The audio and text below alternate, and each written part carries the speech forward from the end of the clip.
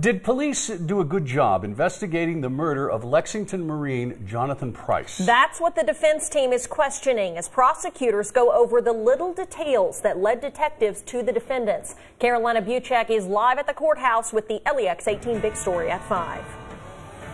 Last week, emotions ran high in the courtroom as Jonathan Price's widow told the jury about the night the Marine died.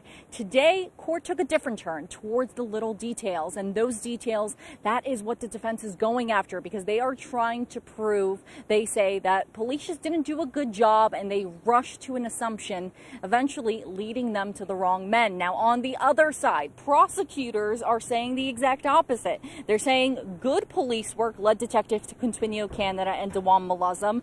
Police say the men killed Jonathan Price with a gun they stole during a robbery at the Quality Inn just a few days before the murder. But that robbery, that is something the defense is poking holes into. They say police never swabbed anything for DNA or fingerprints, but prosecutors fought that claim. And today, the jury also heard from the defendant's family, Dewan Malazam's sister. She was the one who ID'd her brother in security video from the liquor store right next to the murder scene.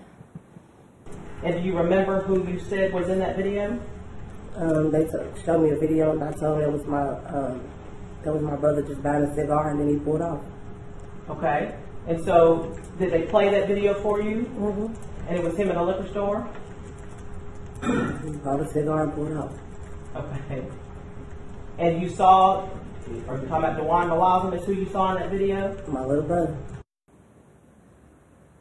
Now, that security footage, that is playing a very big role in this case because if that is in fact the defendants on tape, that would place them at the scene of the murder.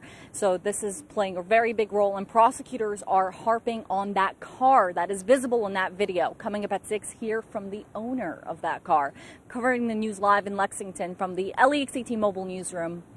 Back to you.